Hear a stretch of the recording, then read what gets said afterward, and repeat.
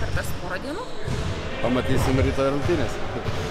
Manau, kad tikrai laiką išnaudojam labai produktyviai, tikrai esu labai patenkintas vyrų darbu, tą energiją, susikaupimu. Visi žino, ko atvažiavo, čia yra Lietuvos rinktinė, tikrai patenkintas tuo, kaip dirba, o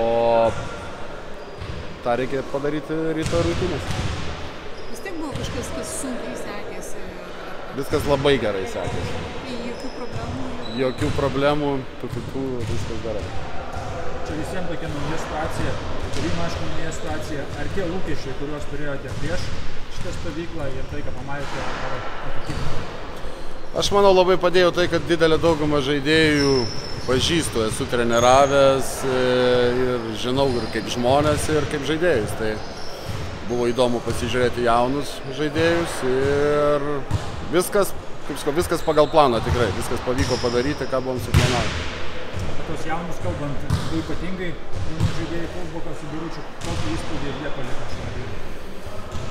Kaip ir jauni žaidėjai, gera. Tikrai gera, ypač Laurina yra tekę treniruoti, o Arnoldą ne, tai buvo įdomu pamatyti, kaip atrodo treniruotėse. Ir tai yra tikrai talentingi žaidėjai ir manau, tai yra Lietuvos krepšinio rinktinės irgi ateities žaidėjai. Taip kad norim juos kuo greičiau įsivesti į sistemą, į treniruočių procesą, kad žinotų visą tą atmosferą ir ateiti šviesi, manau. Turbūt analizavot Kosovo komandos žaidimą, kokį įspūdį palieka tu? Labai emocinga komanda, kuri ypač, ypač agresyviai, ypač emocionaliai rungtyniauja namuose.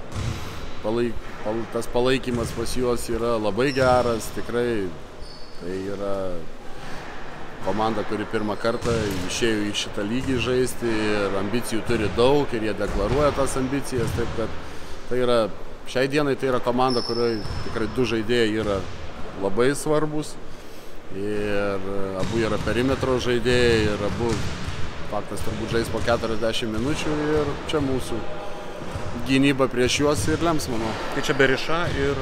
Ir Betfordus, naturalizuotas amerikietis. O visi žaidėjai vyks. Taip, visi 14 vykstant. Jeigu dar kalbant apie tos du jaunus, ar galima sakyti, kad tie du jauni liks už 12 ribos? E, kaip ir sakiau, tai nieko nereiškia tai, ar tai už 12 būsit ar būsit, turės šansą. Manau, dabar, dabar po treniruotės kaip tik spręsime galutinai, o kitom rungtynėm galim vėl keisti savo 12, taip kad žiūrėsim ir pagal priešininką. Ar jau ryškėja starto komandos? Mato, čia nereikia labai, manau, būti protingam ir treniruoti irgi žiūrėjom geriau, geriau žaidžiasi tiem žaidėjim, kurie rungtyniauja kartu ir klube. Taip kad e, Mindaugas, Arnas, Reno kartu rungtyniaudami jie, jie geriausiai jaučiasi. Tai ir nedarysim dirbtinai, kad išdraskyti tų.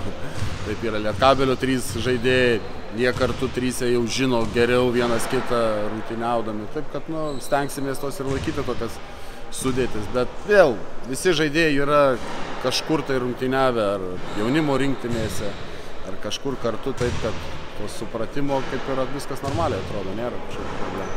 O kaip naujam kapitonui sekasi? Gerai.